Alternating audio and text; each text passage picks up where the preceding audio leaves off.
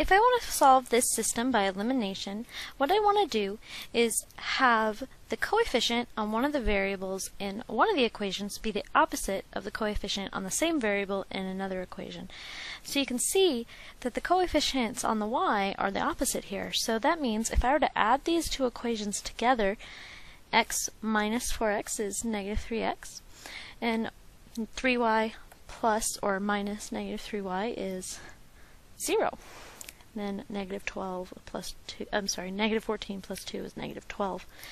So I have negative 3x is equal to negative 12. If I divide both sides by negative 3, I'll have x is equal to 4.